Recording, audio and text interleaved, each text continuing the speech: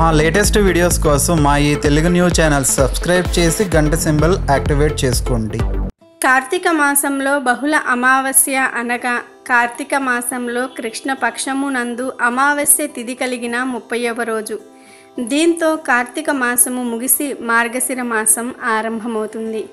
ఈ కార్తీక మాసమంతా ప్రతి ఒక్కరూ అత్యంత భక్తి శ్రద్ధలతో ఆ శివకేశవులకు పూజ చేసి విశేషమైన ఫలితాలను పొందుతూ ఉంటారు.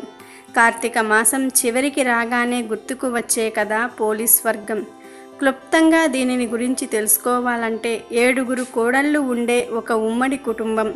అత్తగారు చివరి కోడలి అయిన పోలిని ఇంట్లో వదిలేసి పనులు చేయమని చెప్పి మిగిలిన కోడళ్ళతో నదీ స్నానానికి వెళ్ళేది. పోలి తనకు భక్తిపై ఉన్న ఆసక్తితో ఇంట్లోనే ఎవ్వరికీ తెలియకుండా పూజలు చేసి పెరుగు చిలకగా వచ్చిన వెన్నెతో దీపం వెలిగించేది. ఆ శివకేశవులు ఎంతటి కష్టంలో ఉన్నా సరే ఆమె భక్తిని మాత్రం విడిచిపెట్టలేదని ఆమెను స్వర్గానికి తీసుకుని వెళ్తారు.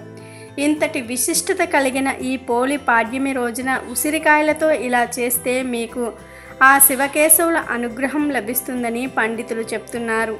ఇంతకీ ఉసిరికాయలతో ఏం చెయ్యాలో ఈరోజు మనం తెలుసుకుందాం.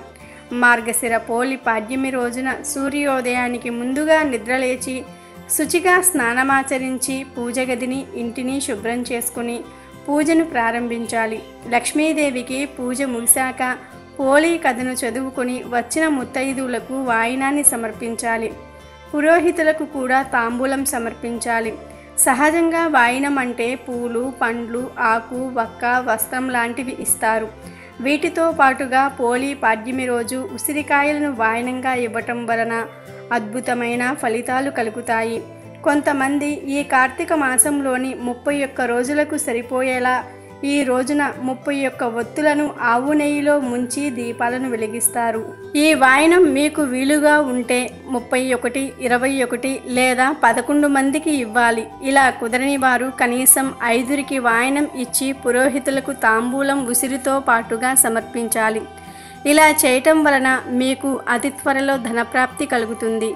అలాగే ఈ రోజున మీరు తాంబూలంలో తెలుపు లేదా ఎరుపు రంగు పుష్పాలను అలాగే ఎరుపు లేదా ఆకుపచ్చ రంగు జాకెట్ ముక్కను తాంబూలంలో పెట్టి ముత్తైదువులకు ఇచ్చి వారి ఆశీర్వాదం తీసుకోవాలి.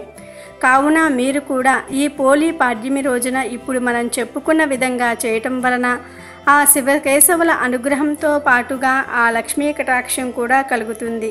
ఈ మాసమంతా ఆరోగ్యంగా ఆనందంగా అష్టైశ్వర్యాలతో ఉంటారు. వీడియో నచ్చితే లైక్ చేయండి షేర్ చేయండి. బట్ సబ్స్క్రైబ్ చేసుకోవడం మర్చిపోవద్దు.